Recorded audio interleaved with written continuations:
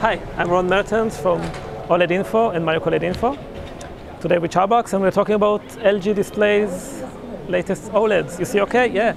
So uh, LG has been doing the earliest, the biggest TV OLED investment for a bunch of years now. Yeah. And it's been an amazing time, no? It's amazing. I think, I mean, I mean, I think that's one of my favorite displays here. I don't want to insult everybody else, but it's, it's a really nice looking display, the 8K. I don't know if you can see it in your photo. Yeah. Um, now they have this new meta technology. The idea is that you are adding microlens, really, really small microlens, right? There's like billions of microlens on this display. So improving the light output. Um, and it looks great. I think in general, what we see in the display industry these days is that most of the focus is going into enhancing the brightness or more importantly the efficiency of the displays. So, you know, that's one technology that are introducing the micro lens, you can see it there. How Call does it Meta. work? It's, it's, The idea you put, it's like an enlargement of the pixels, but on each pixel they're putting like hundreds or thousands, I don't know how many small micro lenses. And then the idea is that, you know, these devices collimate the light, so more light is output outside of the display to your eyes.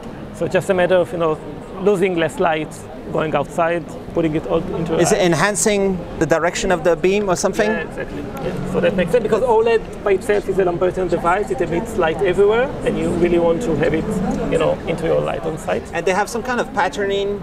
There's got to be some kind of system that can make them so small and precise. And- or does it? and on the- and on the chip. precise. It's. I'm not sure. I'm not an expert on Yeah. microlens.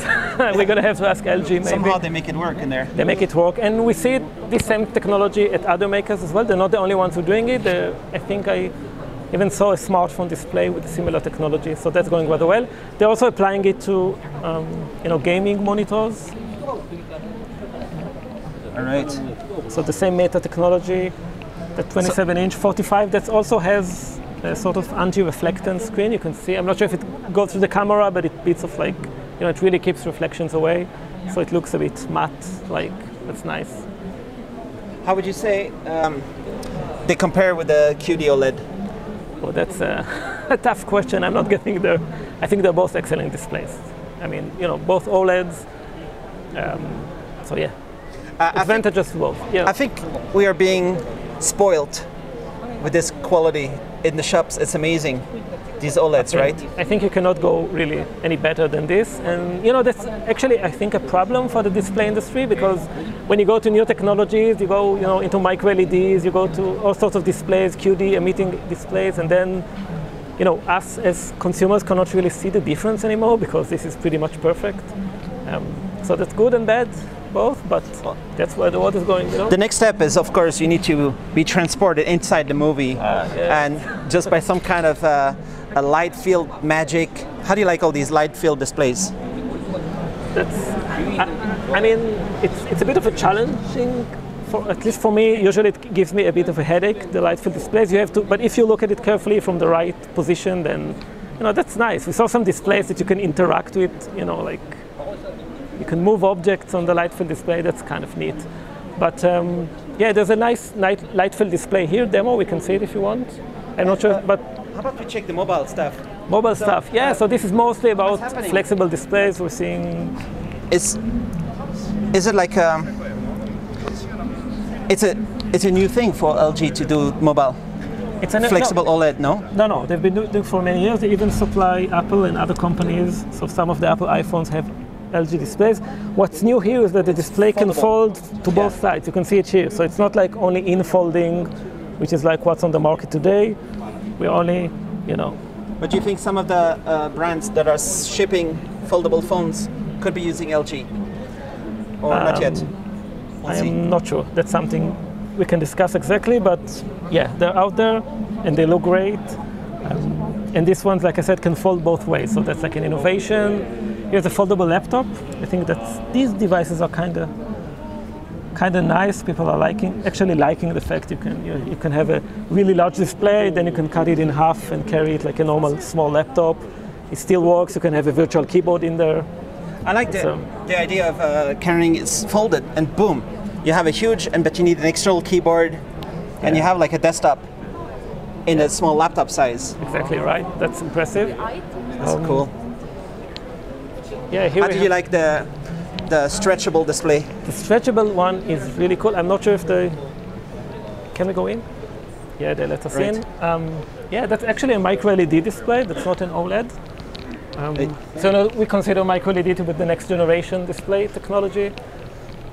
This is Alright. a very early stage display, so you obviously see a lot of defects, and you know the resolution is small and the colors are not impressive, Oh, but that's it. This stretchable foam covers you know, everything. that's Yes. uh, So that's have where the world is going now into between This, right? Yeah. Nice. How do you to make micro the, LEDs. How did you make the we still feel this technology is probably five, ten years uh, away, actual consumer adoption, and that's the light field. Yeah, you should. Yeah. Oh, sorry. Oh, sorry. should really take it from here. I'm not sure if it goes through the camera, but it's. It also It's- includes eye tracking, I think, in this demo. I'm not sure. That's awesome. Yeah. Yeah. I like in a transparent. Did you see any stores that have them? And there's a lot of stuff in Korea actually. Um, it's still, again, you know, very early adoption, so mostly about high-end retail or some museums in Korea, stuff like that. Use them. Right. Um, What is this? But it's OS. OS means on silicon. That's an OLED device put in directly on silicon. And here you see, um, you know, the display itself is very small and it sits on top of the glasses. So it'll be over here, the display, and it, you know, shoots the information down. And then there are small micro um, mirrors in there. You see the mirror array that beams the display to your eye. It's made by the company called LetinAR. You stop? uh, Yeah, no, continue. Oh, continue. So, So it's made by cool. a company called LetinAR in Korea, and they're collaborating with Nice. LG on this display. So, uh, people can read all this on your website, no? Yeah, please go ahead to OLEDinfo.com. And Yeah. we update daily on OLED news. We also have on micro LEDs. And here we have our, my good friend Shri, Hey. Why am I in your video? because you're the nicest guy in this industry. And Cool. Yeah. I think the first Alright. interview Charbax did with me 10 years ago. more than 10 years 12 years ago. Than 12 years ago. Right. Yeah, yeah, yeah. Cool. That's Yeah. awesome. So you have the best OLED website, no? yes, uh, I mean, Yeah. thank you. Yeah, we try to do our best.